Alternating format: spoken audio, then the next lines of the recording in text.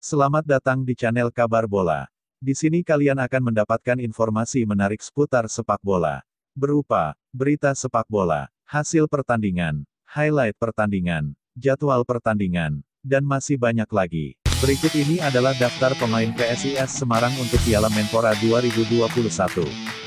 Di sisi penjaga gawang diisi oleh Jandia Eka, Joko Ribowo, dan selanjutnya ada Yovan Pranata, dan yang terakhir Muhammad Fadli. Sedangkan di sisi pemain belakang diisi oleh Wallace Costa, Rio Saputro, Abanda Rahman, dan selanjutnya ada Alfeandra Dewangga, Wahyu Prasetyo, Safrudin Tahar, dan selanjutnya ada Randy Saputra, Pratama Arhan, dan selanjutnya ada Fredian Wahyu Sugiantoro, dan yang terakhir Rian Ardiansyah.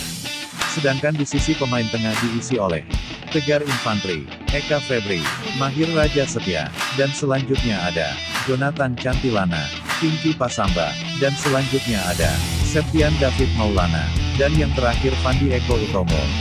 Sedangkan di sisi pemain depan diisi oleh Hari Nur Yulianto, Komarudin, Andreas Priamanto Ado, dan selanjutnya ada Bruno Silva, M. Ridwan, dan yang terakhir Jori Guru.